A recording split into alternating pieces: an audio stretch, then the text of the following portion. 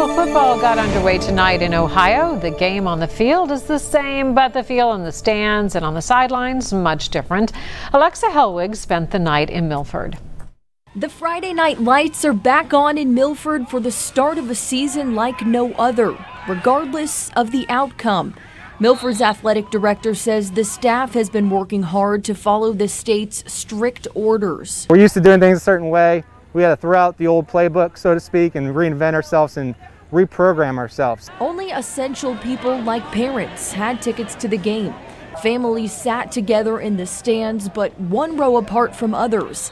They have to wear masks the entire night Bob Flans says it's all worth it to see his senior play the game. Playing football is a lot of hard work, and there, there's a lot of time that go into it, not just in practice, but year-round conditioning and lifting. Milford can only have about 600 people in the stands. Everyone seemed to be following the rules on night one. We have a great plan. Um, I think we have one of the best plans around Milford High School, our staff, administration, with our school and our sports.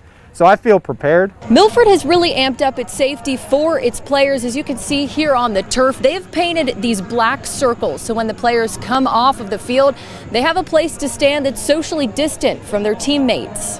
Because of how strange this year is, opening night is also senior night. The Eagles hope to play an entire season but nothing's a given. I was just talking to my wife, and you know, I, I still remember my senior night, you know, from 30 years ago. So uh, it was, it's a memorable night, and you know, I'm glad that they did what they did. It's uncharted territory for the school, but they hope families and players continue to understand why these rules are in place. Have patience, have kindness, and give us some grace.